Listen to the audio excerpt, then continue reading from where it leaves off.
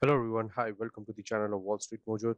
Watch the video till the end and if you're new to this channel, then you can subscribe us by clicking the bell icon. Today we have a topic with us is write-off. Many a times, you know, companies have to do write-offs, you know, because of bad loans or probably amount of the customers becoming uh, as bad debt, you know, or or if you have created any bad debt reserve and that turned out to be a bad debt, then you have to write off such uh, receivables. So over here, there's an example for Mumbai, the Tata Sons holding company of the diversified Tata conglomerate wrote off rupees 28,651 crore on its telecom business in the previous financial year, lowering its net profit by 76%. I mean, see the write off that has been made. That is absolutely and significantly going to affect your net profit according to the recent filing. Let's try and understand this in a complete detail format.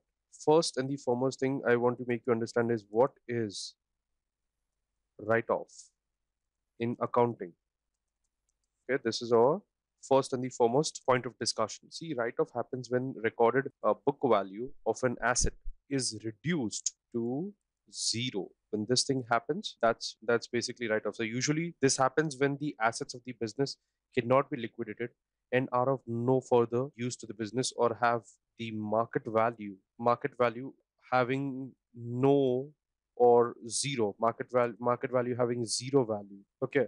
So it can be defined as the process of removing the assets and liabilities ANL from the accounting books and the financial statements of the company. Like for example there is no particular use of fixed assets. So generally it is done by moving part of all of the balance in an asset account to what we call as expense account. So the write off accounting though varies with the types of the assets now, it usually occurs once it is not spread over the useful life or over the various periods. So, as a tax write off is the reduction of the taxable income. And in retail companies, in companies, write offs are damaged goods and industrial companies, and it happens when the productive assets gets damaged and is beyond the repair. Okay, so this was our first point.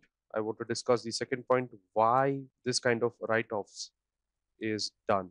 Now let's understand why this kind of write-offs have been done. See, it happens mainly because of two reasons. First, it helps tax savings. Okay, it helps for it helps for tax saving options for the asset owners, and actions like write-off reduces the tax liability by creating expense and that are not cash in nature, which ultimately results in lower reporting income. Okay, it also supports the objective of the write-offs and at the same time uh, of the accounting accuracy it also takes care of. Now i want to i want to discuss some of the examples of write-offs.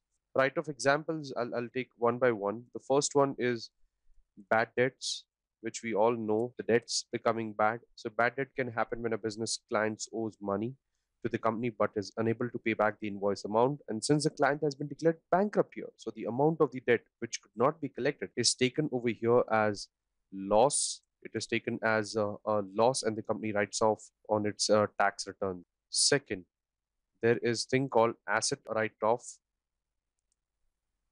now, this happens when a company removes an, uh, an account or the asset from the write-offs uh, accounting books. In this case, the assets value has uh, down or has gone to zero, and this is the reason why writing off the assets from the accounting record has been done.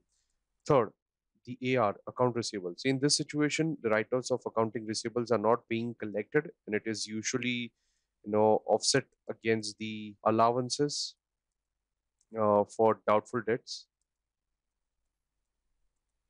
allowances for the doubtful debts or doubtful accounts. That is what we call as the contra account. Okay. Then we have next is inventory. So in case of the obsolete inventory, this can either be charged directly to the cost of goods sold or offset against the reserve for the inventory, which is obsolete having contra account.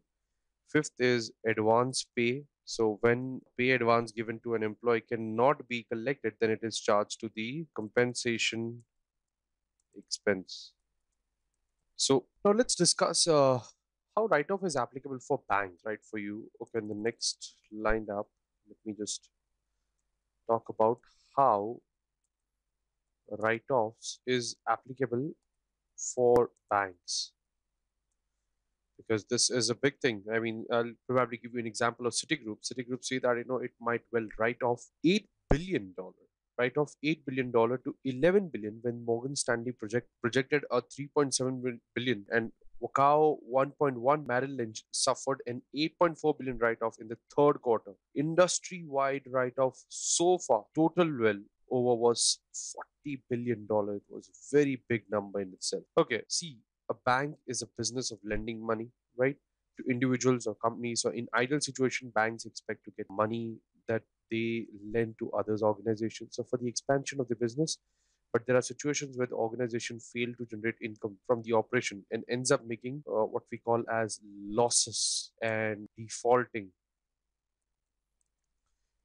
right they end up making losses and defaulting on their loan payments so that is why the bank maintains the provision for for bank. Loans are their loans are primary assets which they have and the source of the uh, future revenues. If the bank is not able to collect the loan or there is minimal chance of collection of the loan then it affects the financial statement of a bank and will result in diverting resources from its productive assets. So as a result for loans that have high probability of getting defaulted banks use a write-offs for those loans from their balance sheet. Now, let me give you give me an example of bank write-offs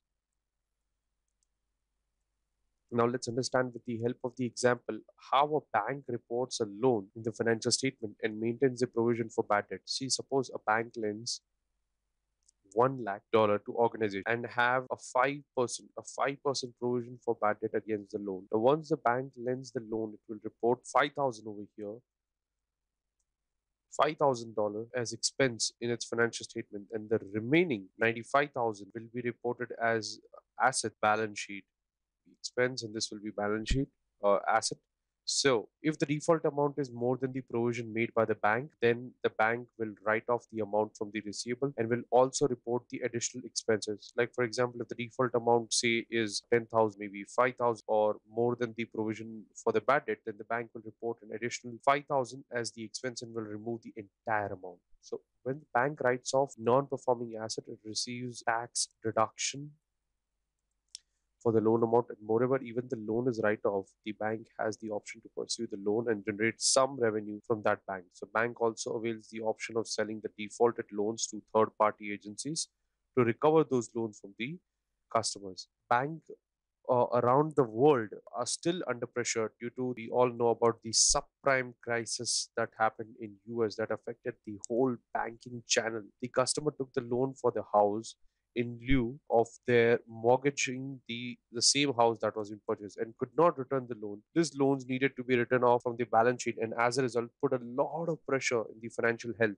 of the bank. And the similar situation had happened in India as well, where the banks, mainly public sector banks, have lent money to organizations which have defaulted their loan, loan payments. And this situation resulted in writing off the loans from the balance sheet, resulting in shrinking uh, of the book value of banks.